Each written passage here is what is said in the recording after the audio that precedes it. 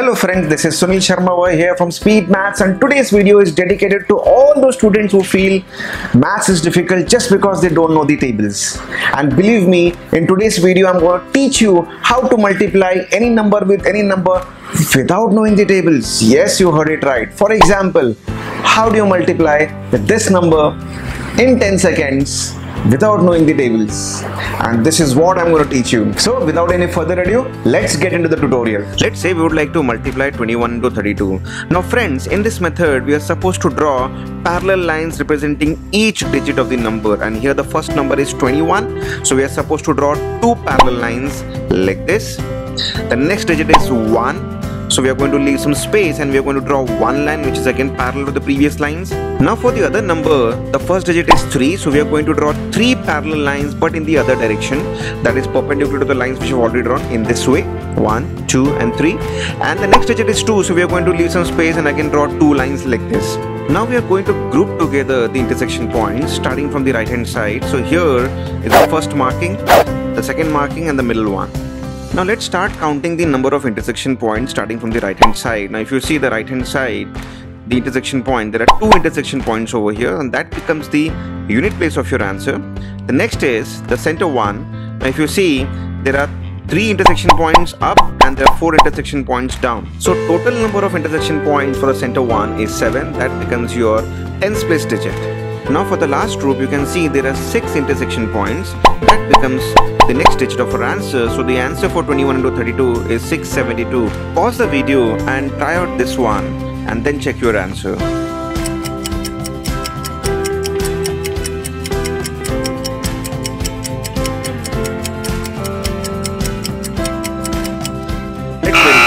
The first digit is 3 so we are going to draw 3 lines like this.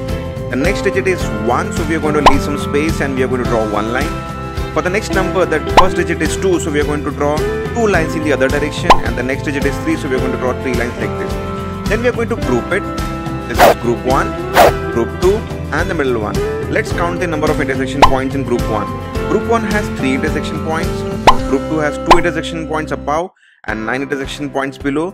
So total 9 plus 2 is 11 now since we are getting a double digit, so what we are going to do, we are going to keep the unit place as it is and we're going to carry forward the tens place digit. Here the tens place digit is 1 so we'll carry forward in this way. Now let's count the last group intersection points. Now there are 6 intersection points in the last group and the carry forward 1 which makes it 7. So the answer for 31 into 23 is 713.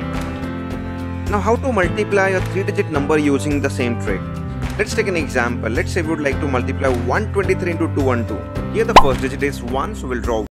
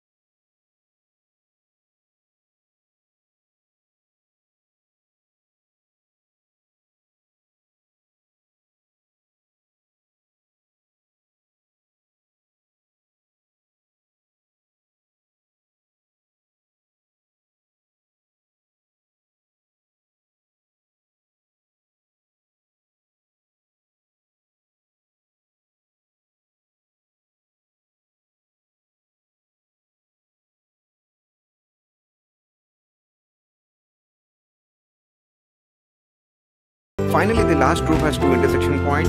So the answer for 123 into 212 is 26076. Now let's take an example where 0 is one of the digit in the numbers. For example, 102 into 112. So the first digit is 1, so we'll draw one line. The next digit is 0. So here you are not supposed to draw any line, so I'll just draw a dotted line for your understanding. But understand, we are not going to consider any intersection point with this line. The next digit is 2, so leaving some space, we are going to draw two lines. And for the next number, the first digit is 1, so we are going to draw one line. Again, the next digit is 1, so we are going to draw one line after leaving some space. The last digit is 2, so after leaving some space, we are going to draw two lines. Now let's find the number of intersection points in group number 1. So group 1, if you see there are 4 intersection points, so unit place will be 4. Now if you see, the next group has only 2 intersection points, we are not going to consider any intersection point with the dotted line so we are going to consider only the two intersection points so the next digit will be 2 same goes with the center line. You can see there are two intersection point above and two intersection point below. We are not going to consider the center intersection point because it is with respect to dotted line. So total intersection point in the center is 4 likewise the next group has only one intersection point and the last group has again one intersection point so the final answer is 11424 Let's take an example where the number of digits are not equal. Let's say the example is 123 into 21. Now how do we multiply this? Methodology is exactly same. The first digit is 1, so we are going to draw one line. The next digit is 2, so after leaving some space we are going to draw two lines. The next digit is 3, so after leaving some space we are going to draw three lines, right? For the next number the first digit is 2, so we are going to draw two lines in the other direction and the next digit is 1, so we are going to draw one line. Now let's group it. Here the group will be non-symmetric because here the number of digits are not equal. Now there are three intersection points in group number 1. In center there are 6 and 2 8 intersection points.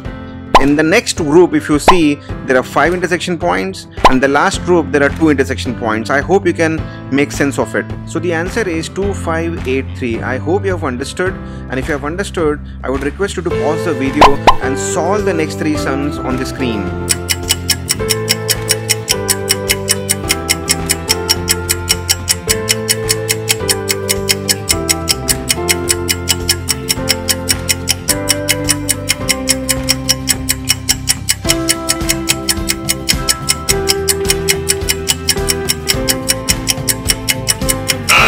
So guys, I hope you enjoyed learning this technique with me. Do share it with your friends and do hit like button because your likes motivates me to make more such videos because it takes a lot of time and effort to make such videos. So do hit like button. I'll be back again in the next video.